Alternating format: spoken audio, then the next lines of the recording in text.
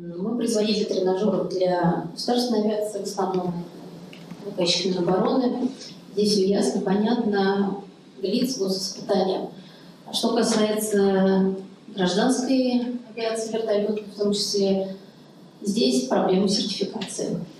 До сих пор не приняты нормы ни Росавиации, ни Минтрансом, по каким нормам будет проводиться квалификационная оценка наших тренажеров. Программ нет для обучения, программ к оценке тренажеров также нет. Соответственно, и тренажеров, по сути, для гражданской авиации также нет.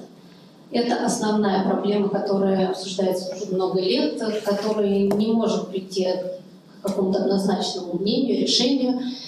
У нас с этим проблемы. Наша компания проблема. Я думаю, что на рынке целиком, ну, как бы в целом, такая же ситуация.